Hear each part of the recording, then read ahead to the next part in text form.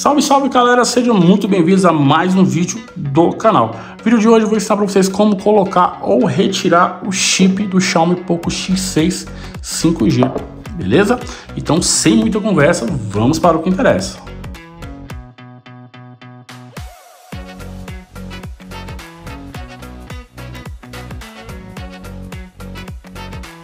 Galera, e a primeira coisa a se fazer é, para é, inserir o chip, né? Você precisa ter essa chavinha aqui, ó. Essa chavinha vem dentro da caixinha do aparelho.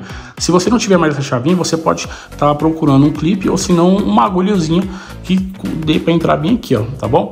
O slot do cartão é bem aqui na parte de baixo, na parte inferior do aparelho, beleza? O que, que vamos fazer agora? Você vai pegar essa chavinha e colocar dentro desse buraco aqui, ó. Aí você força um pouquinho. Pronto, a gavetinha vai mostrar que tá solto. Você vem e remove. No Poco X6 5G, ele tem a opção de botar dois chips, beleza? Ele não tem a opção de botar cartão de memória, tá bom? Apenas dois chips. Fechou? Colocou o chip aqui, logo em seguida é só inserir novamente. Tá bom? Colocou a gavetinha com o chip, ele já inicia de imediato. Se o, se o chip tiver com aquele bloqueio, com pin de bloqueio, é só você digitar a senha que ele já reconhece logo em seguida. Tá bom?